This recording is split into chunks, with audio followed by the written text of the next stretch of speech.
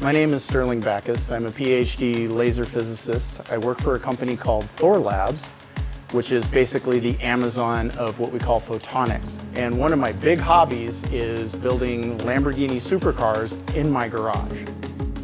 So originally, this whole process got started with my son and I. My son and I like to play a video game where we drove the Lamborghini Aventador and we had a little, you know, Xbox and we would do that from time to time.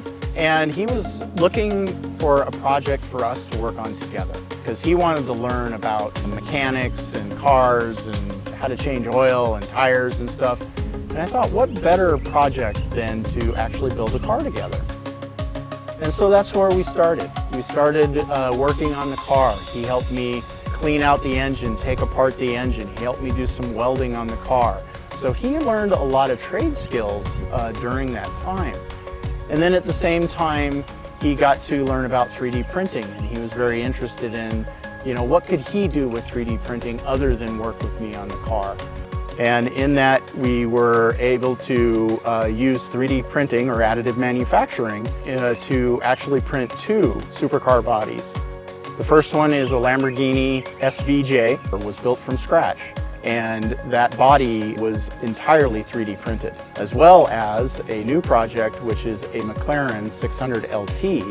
The McLaren was acquired at a junkyard. We basically bought pieces of that car, put them together, and then the pieces that we were missing, we used 3D printing in order to replace those parts. Those parts tend to be very expensive and sometimes they're hard to get. And so using the 3D printer really helps us save time and money I have a couple of 3D printers that I use for 3D printing the car. They're both uh, Creality products, which I very much enjoy. High quality products, and they are also working almost 24-7 in printing. I really like the part of 3D printing because it allows me to take parts from the printer, put them all together, and then realize them on the car itself. And that's absolutely fantastic because that's the kind of emotional feedback that I'm looking for when I'm building a project like this.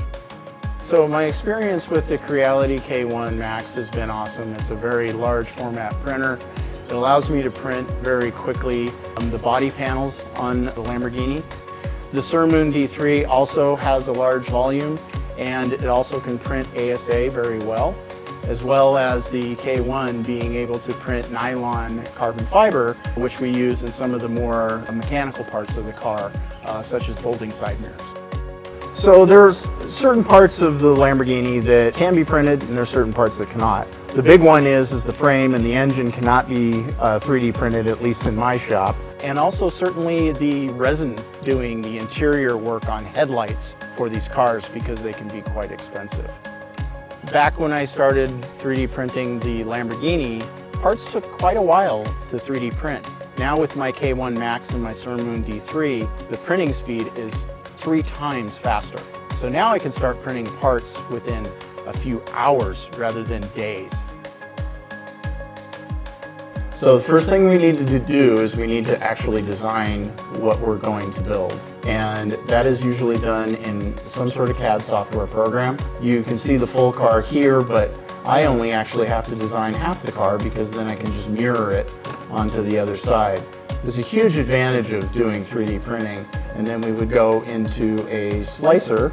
Um, I have a different part in here. Uh, this is actually for the uh, McLaren which is part of the headlight where we are putting this into the slicer, adding supports to it, and getting it ready to put into the 3D printer. We're always looking for ways to improve the technology and the process controls that we're doing for these vehicles. And so basically we want to update our processes and how we do things because they're always changing. All of the media attention actually made it all its way to Sant'Agata, Italy, into the actual production area where they make Lamborghini Aventadors. That not only were we using 3D printing, but that it was a father-son project. And so it was something that they elevated up to the directors of Lamborghini and that's when I was contacted by the chief marketing officer of Lamborghini. At first I thought I was in trouble because there is a lot of things going around where people buy Ferraris, do certain things to them, and then they get sued. And she assured me that that was not the case, that they really loved the story, they loved the project, and they wanted to work with us on a project together. And that project was a commercial for Lamborghini over uh, Christmas in 2019.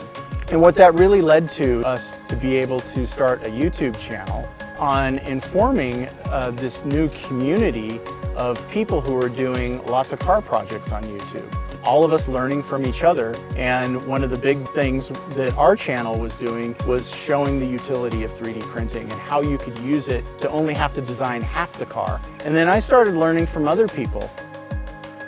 So the future of this project is, is that once we're done 3D printing the body panels for both the Lamborghini and the McLaren, we're going to cover them in carbon fiber, so we're going to do some composite work. Um, and then we'll paint the cars and we'll take them around to shows to showcase awesome power that 3D printing gives to the car community and what it does for us.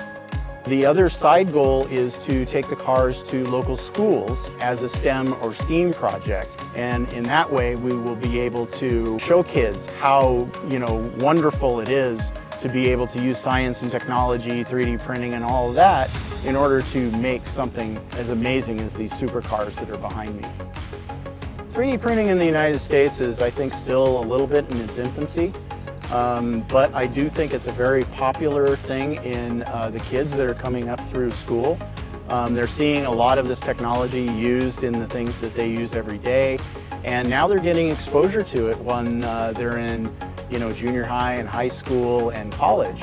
And so I think that it's becoming more and more popular, especially when people see that 3D printing doesn't need to be just used for making little figurines. You can actually now make usable pieces, like you can make a coat hanger, you can make a bookshelf, you can do a lot of different things around the home, uh, not just 3D printing supercars.